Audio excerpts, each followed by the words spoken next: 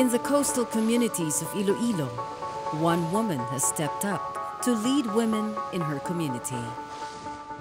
Ah, ako po si Daisy Baldovea Albao, ah, mula dito sa Agdaleran, San Dionisio, Iloilo, isa pong presidente ng Agdaleran Women Rural Improvement Association.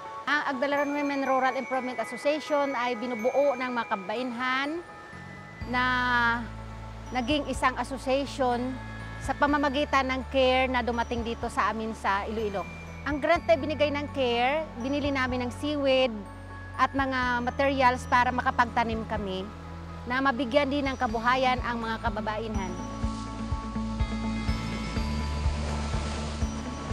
Through seaweeds planting and harvesting, women in Daisy's community have gone out of their comfort zone. Naipakita namin na kailangan ang mga babae hindi lang sa bahay, kundi makatulong din sa pangailangan ng aming mga kabuhayan at ma-empowerment ang mga babae dito sa aming barangay. Noon po, wala akong alam dyan. Hindi ako halos lumalabas ng bahay. Pero nung dumating ang seaweeds po sa tulong ng CARE, ano po, araw-araw na halos nandyan po kami sa dagat. Inaasikaso po talaga, monitoring. At dahil po mas malaki po yung tulong nila, Jessica, a member of the association, considers the Livelihood Project a big help to her family. may income po kami every month po para sa kailangan ng anak ko, sa, sa school po. Mabibigyan ko na po talaga ng dahil po sa seaweeds.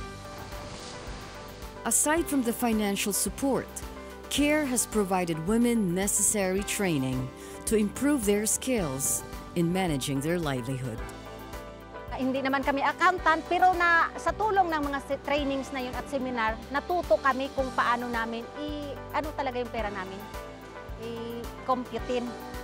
The men in the community have also given their full support to their wives' newly found endeavor. Mabuti, mas masaya sa mga asawa namin kasi may mayroon silang ginagawa eh. Yung sa amin, sa mga, mga misis namin. Daw ginagawa namin bayanihan system eh.